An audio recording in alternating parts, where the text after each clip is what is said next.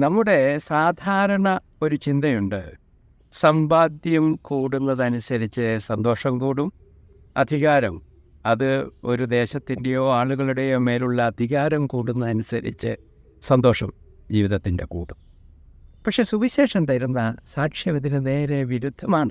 ആ നാട്ടിലെ ഏറ്റവും വലിയ അധികാരമുള്ളവനായിരുന്നു ഹെറോദോസ് രാജാവ്. ഏറ്റവും കൂടുതൽ സമ്പന്നനുമായിരുന്നു അയാൾക്ക് എന്താ സംഭവിക്കുന്നത്? ഈശോയുടെ ജനനത്തെക്കുറിച്ച് കേൾക്കുമ്പോൾ അയാൾ അസ്വസ്ഥനായി. എന്നാൽ ഇതിന് നേരെ വിരുദ്ധമായ ഒരു ചിത്രമുണ്ട്. നക്ഷത്രം കണ്ടപ്പോൾ ജ്ഞാനികൾ സന്തോഷിച്ചു.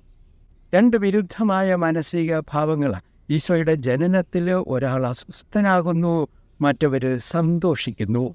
ഇതിന്റെ കാരണം സമ്പത്തിനോടും അധികാരത്തോടുമുള്ള ഇവരുടെ ജീവിതത്തിന്റെ ബന്ധമാണ്.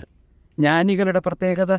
അവർ സഞ്ചാരികളാണ് പഥികരാണ് വീടും നാടും സ്വന്തമായിട്ടില്ലാത്തവരാണ് എന്ന് പറഞ്ഞാൽ സമ്പത്തിനോടും അധികാരത്തോടും കെട്ടുപിണഞ്ഞു പോകാത്ത അകന്നു നിൽക്കുന്ന ജീവിതം.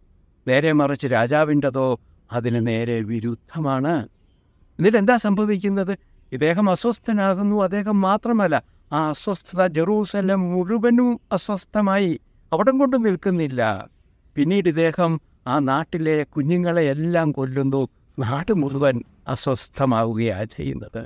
എന്നിട്ട് അവസാനം ഇദ്ദേഹം ചെറിയ ചെറിയക്കോയിൽ മരിക്കുന്ന സമയത്ത് ചരിത്രകാരന്മാർ പറയുന്നത് തന്റെ മരണത്തിൽ ആരും സങ്കടപ്പെടുകയില്ല എന്ന് തിരിച്ചറിഞ്ഞിട്ട് അയാൾ മരണത്തിന്റെ നേരത്ത് വി ഐ പികളെയെല്ലാം വിളിച്ചു വരുത്തി മരിക്കുമ്പോൾ അവരെ കൊല്ലണമെന്ന് കൽപ്പനയിട്ടെന്നാണ്.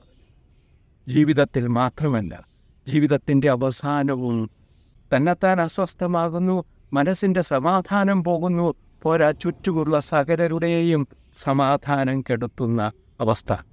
ഒരു കാര്യം മറക്കരുത്. നമ്മുടെ ചുറ്റുമുള്ളവരിലും ചുറ്റുമുള്ള ഇടങ്ങളിലും അവതരിക്കുന്ന നന്മയെല്ലാം യേശു സ്പർശങ്ങളാണ്. അത്തരം ആവിഷ്കാരങ്ങളിൽ സന്തോഷിക്കണമെങ്കിൽ എന്ത് ചെയ്യണം? സമ്പാദ്യങ്ങളിൽ നിന്നുമുള്ള അകലം പോരാ അതിനൊക്കെ ഉപരിയായിട്ട് അധികാരത്തിൽ നിന്നുമുള്ള അകലം.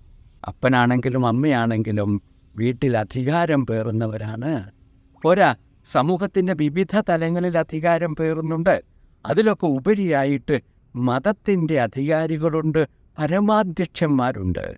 ഈ അധികാരത്തിൽ നിന്നും അകലം പാലിച്ചില്ല എങ്കിൽ ആവിഷ്കൃതമാകുന്ന യേശു സാന്നിധ്യത്തിന്റെ നന്മയുടെ അവതാരങ്ങളിൽ സന്തോഷിക്കാൻ പറ്റാതെ വരും അസ്വസ്ഥമാകും.